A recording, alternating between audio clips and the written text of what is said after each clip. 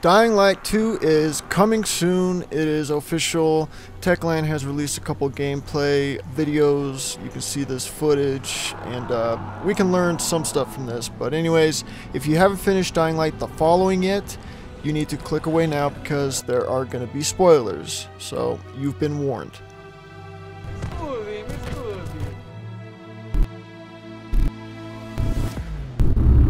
Some time has passed between the first game and the second game, as you can see from the growth on the roofs.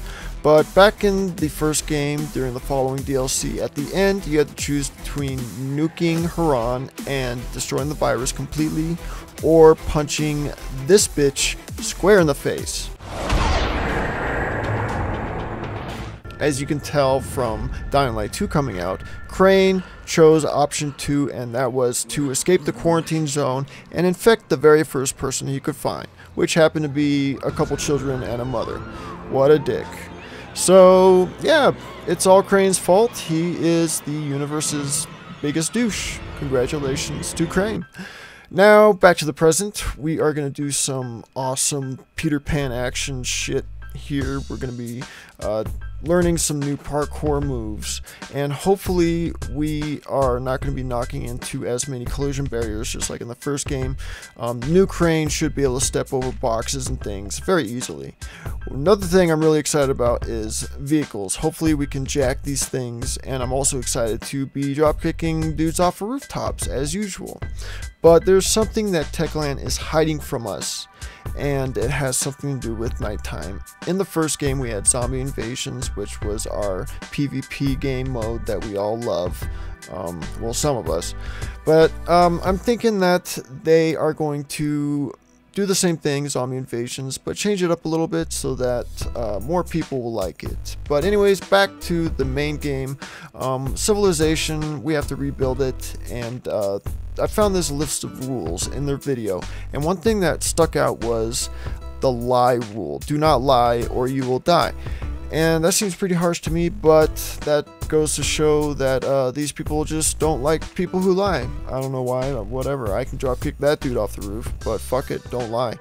Anyways, as you can see, these rooftops are pretty barren, but time goes by as you progress through the game, and then everything's full. I think these are safe zones, just like in Fallout 4 when you build a settlement, um, you have you know settlers coming in and all that. I think that's the same game mechanic that's happening here. But check out that weapon. Oh my god. Here are the weapons from the original game. Beautiful, brand new. And of course, in the future, our weapons are made of shit. But we only have three weapons to look at from the videos that Techland released. And um, I'm sure these are just the base, you know, like the first weapons you find during the prologue.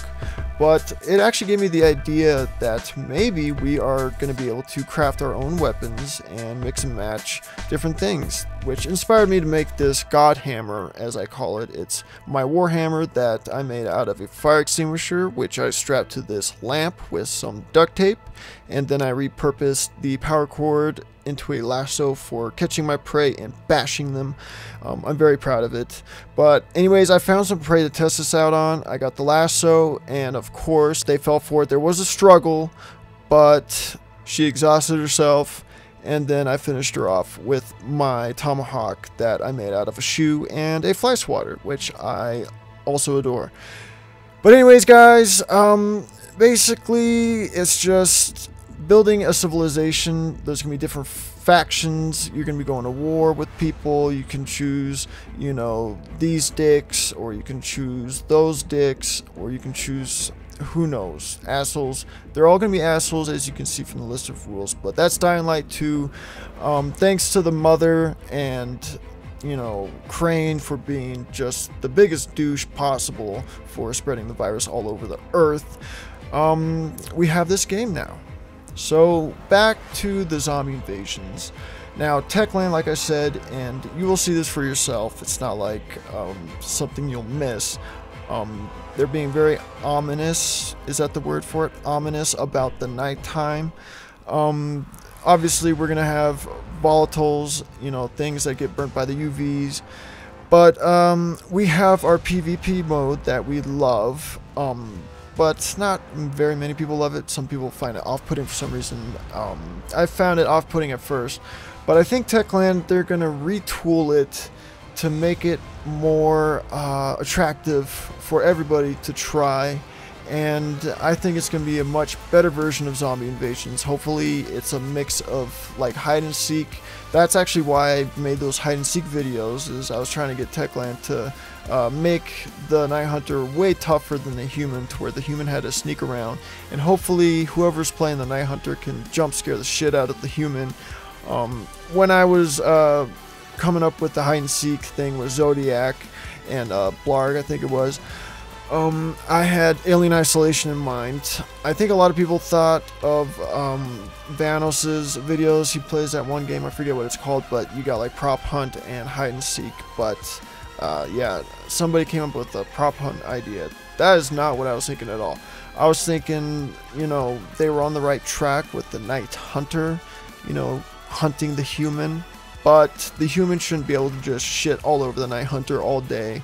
Uh, yeah, and I think that's what Techland is going to do about the nighttime, and I think there's going to be a lot more to it. Um, we're just, you know, we're scratching the surface, uh, viewing, I guess, the tip of the iceberg. I'm fucking bad with words, guys, okay? I don't know why you listen to me. But anyways, uh, thanks for listening to me.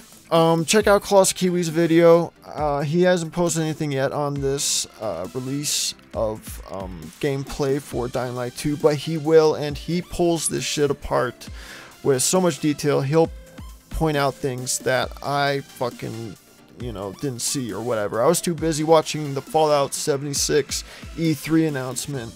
So, very busy night for me. Um, I can finally stop recording myself talking and hopefully you guys found this fun to watch. I hope you found it informative. And like I said, um, it's going to be a lot like Fallout 4 with the settlements and maybe, hopefully, crafting weapons. But yeah, guys, that's it. Thanks for watching, and as always, I will see you in the next video.